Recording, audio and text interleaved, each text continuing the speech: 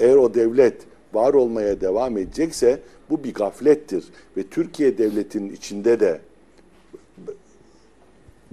muhtemelen bütün bu oluş gelişmeleri dış dünyadan daha fazla belgeleyen, izleyen e, bir başka da yapı var. Yani onun ne zaman e, torbadan yüzünü çıkaracağı, nasıl çıkacağı da belli değil. Gözetleyen Kim var? Ya şimdi neyi ya- gözetliyor kimin adına? Ya öyle bir anlatıyorlar ki Erdoğan sanki hakikaten hayatı boyunca burada kalacak. Ya Erdoğan iki sene sonra gidecek.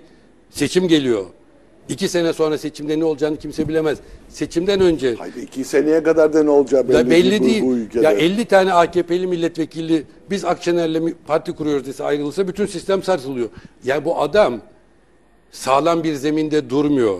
Her an her şeyin değişebileceği ve değiştiğinde bunu çok ciddi hukukla ilgili bir problemin ortasında bırakacak bir ortamda yaşıyor.